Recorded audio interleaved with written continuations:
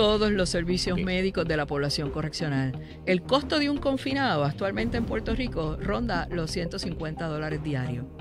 El costo de un menor en confinamiento en Puerto Rico está en los 840 dólares diarios aproximadamente. Por todos los servicios que se le brindan. Por todos los servicios que se le brindan. O sea que cada confinado nos está saliendo cerca de 80 mil dólares al año. Aproximadamente. En caso de que sea una enfermedad, por ejemplo, eh, crónica, eh, vamos a decir, un una, una situación de tratamiento HIV, hay que pagar todo el servicio un paciente que desarrolló cáncer, hay que pagar todo el servicio. Un paciente que tiene diabético crónico, hay que pagar todo el servicio. Todos los servicios los tenemos que pagar nosotros. Una silla de rueda que necesite, eh, un andador, todos los servicios. Me dijo cuántos son 850 por menor.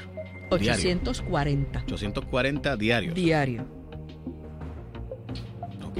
So, el preso adulto nos sale en 55 mil y el menor en 306 mil anuales. Sí, señor. Y tenemos 68 menores.